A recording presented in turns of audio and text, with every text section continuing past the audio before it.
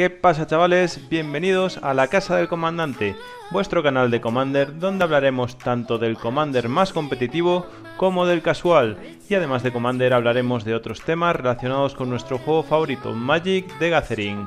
En el capítulo de hoy vamos a ver una baraja casual, vamos a ver una baraja de control y una baraja en los colores Sultai, pero antes de empezar me gustaría recordaros que tenemos un servidor de Discord al cual os podéis unir, os dejo un link en la descripción y también os dejo una tarjetita por aquí arriba por si queréis participar en la sección de los mazos del suscriptor, simplemente tenéis que pinchar y ahí explico cómo hacer y cómo podéis enseñar vuestra baraja a toda la audiencia del canal. La baraja que vamos a ver hoy, como veis, es una baraja de Multroza de Grave Tide, que es un elemental avatar que baja por 3, uno negro, uno verde y uno azul, y que dice que durante cada uno de nuestros turnos podemos jugar una carta de cada tipo de permanente desde nuestro cementerio. Será esta habilidad combinado con distintos tipos de permanentes la que utilizaremos para abusar y sacar ventaja y al fin y al cabo pues controlar lo que es la mesa. Vamos a empezar un poco con las formas de dar maná que tenemos en la baraja. En primer lugar tenemos un pétalo de loto, una carta pues muy interesante ya que podemos recurrirla gracias a, a Muldrota, la podemos sacrificar para dar maná y la podremos volver a jugar con Muldrota desde el cementerio. Un Sol Ring, un clásico de Commander. Wayfarer's Babel también nos permitirá buscar tierra. Llevamos unas cuantas criaturas para dar maná. Un Deathrite, unas Aves del Paraíso, un Arbor Elf y un Elves of Deep Shadow. También para dar maná, pues llevamos una Lotus Cobra que con las fetch que jugamos y pudiéndolas jugar desde el cementerio, pues las podremos utilizar para dar el maná que dan y aparte, pues con la cobra darán maná adicional.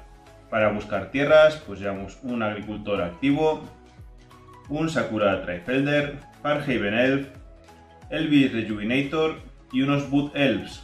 Llevamos dos cartas para acelerar las tierras que podemos jugar por turno, que son una Exploration, si tenemos una en la mano y otra en el cementerio, pues podemos jugar una desde cada sitio, y una Azusa. Y además, pues llevamos un Growing Rights of Idlimok, que nos permitirá buscar criaturas en nuestras cuatro primeras del mazo, y si tenemos cuatro o más criaturas, pues lo convertiremos en lo que es básicamente una cuna de Gaia.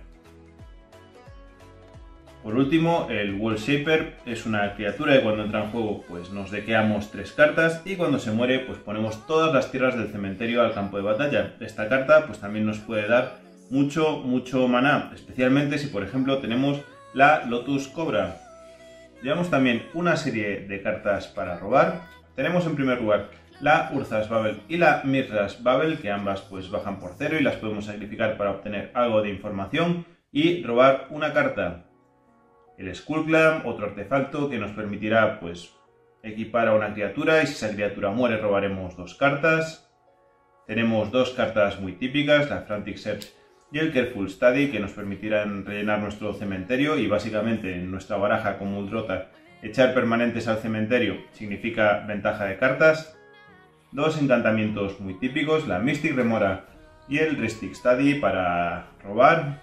Y por último tenemos una Consecrated Sphinx que también nos dará una ventaja de cartas importante siempre que nuestros oponentes roben carta. El removal es una parte central de la baraja y es seguramente donde más cartas invertimos, como digo es una baraja de control sobre todo de mesa, así pues que tenemos bastantes cartas de removal. Para deshacernos de encantamientos y artefactos llevamos un Seal of Primordium y un Caustic Caterpillar. También llevamos un Oco contra criaturas y un Ravenous Chupacabra. Para hacer sacrificar criaturas de nuestros oponentes llevamos un Difun de Plagas, un Verdugo Despiadado y un Flashback Marauder y, bueno, una Sheoldred que aparte tiene el efecto de reanimar una criatura por turno. Y con todo esto pues llevamos un Dictate of Erebos contra criaturas también. Llevamos una Massacre Worm. Y en cuanto al removal un poquito más general pues llevamos una acción perniciosa un Cyclonic Rift, la acción perniciosa, recordemos que destruye artefactos, criaturas y encantamientos, no destruye planes walkers. Y también como remuva el motor de sacrificio y ventaja de cartas pues, para robar, llevamos un Yawgmoth. Y hablando de motores de sacrificio, pues vamos a pasar a ver los que llevamos en la baraja. En esta baraja puede ser bastante interesante sacrificar criaturas, ya que ello nos permitirá volver a jugarlas desde el cementerio y volver a conseguir su efecto. Aparte del Yawmoth, llevamos un Viscera Sir y un espanto de amargura que básicamente pues, nos permiten sacrificar una criatura para hacer Scry 1. El espanto a mayores pues pone una cabra. Llevamos un Pyrexian Altar que nos permite sacrificar para dar maná y un Altar of Demencia que nos permite sacrificar pues para tirarnos cartas al cementerio. Y hablando de tirarnos cartas al cementerio, llevamos otras tres cartas que nos lo permiten.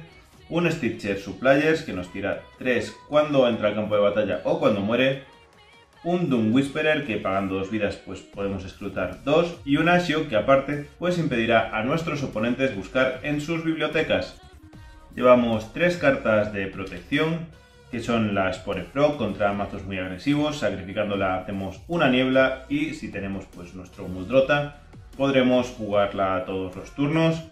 El Protector Silvestre que nos permite sacrificar tierras para darle velo a una criatura y el Callas Form, que básicamente, pues si se lo ponemos a nuestro comandante o a cualquier criatura, si nos lo matan o nos lo exilian, lo devolveremos al campo de batalla.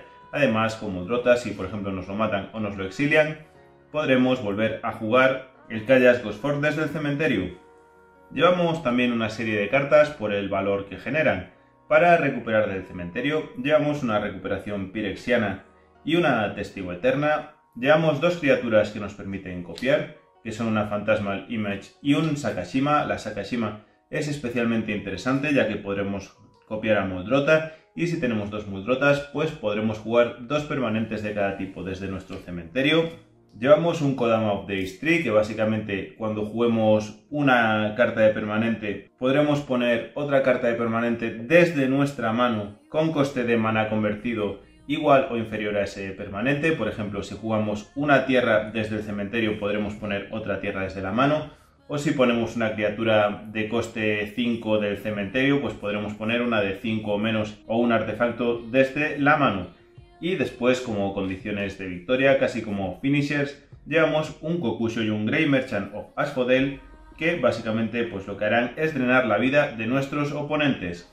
Esta baraja, como digo, es una baraja pues bastante versátil. Yo la he hecho en esta forma, pero vosotros pues podéis elegir otras opciones, como por ejemplo sería meter un Blood Artist o un Tula por Cutthroat, que son dos opciones pues que yo jugaba antes, pero que para el vídeo pues he decidido arriesgarme con algunas cartas nuevas, como la Sakashima y el Kodama of the Street, porque la verdad es que me gusta mucho la sinergia que tienen en esta baraja.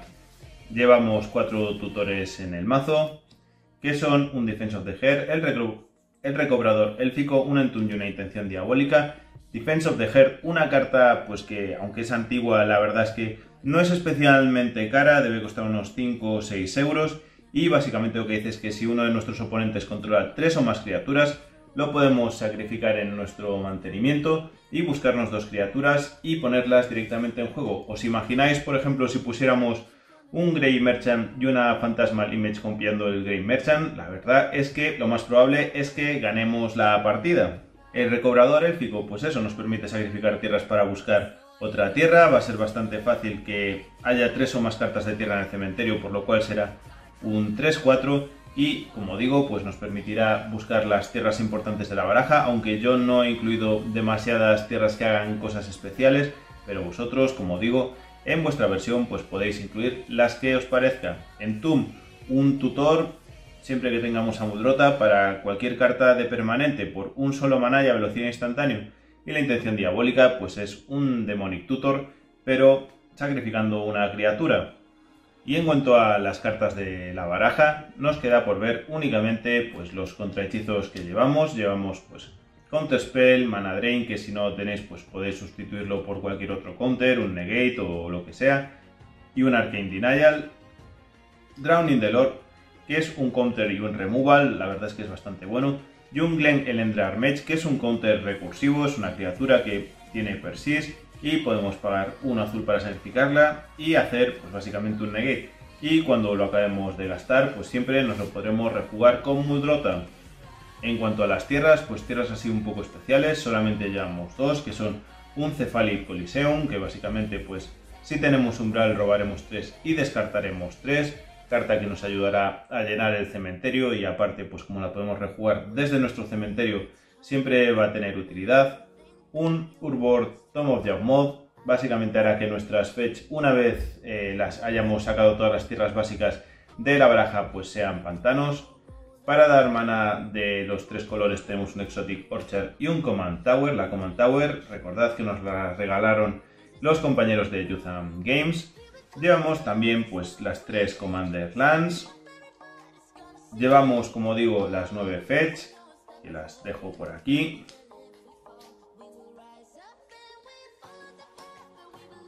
Dos tierras más de sacrificar, que son la Prismatic Vista y el Fable Passage.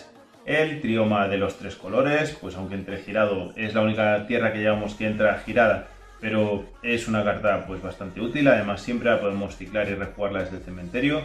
Llevamos pues las tres Shocklands y llevamos pues las tres Duals. Como digo, estas cartas si no las tenéis pues no os preocupéis, no pasa nada, se puede montar una base de mana con tierras que entren enderezadas perfectamente sin eh, dejarse pues el dinero que valen estas cartas hoy en día. Yo las he incluido porque las tenía, aunque es cierto que también tenía la cuna de Gaia y he decidido no incluirla porque me parece una carta que ahora mismo está demasiado, demasiado cara. Y en cuanto a tierras básicas, pues llevamos tres islas, tres pantanos, y cuatro bosques.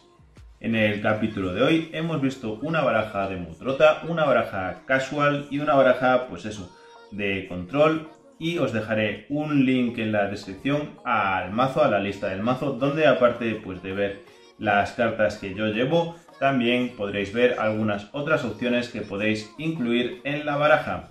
Además, si os ha gustado el vídeo o queréis comentar alguna cosa, no dudéis en dejar un comentario aquí abajo. También podéis comentar de qué os gustaría que hablara en próximos vídeos. Por lo demás, muchas gracias por ver el vídeo y no olvidéis suscribiros y darle a like. Nos vemos en el próximo capítulo. ¡Un saludo!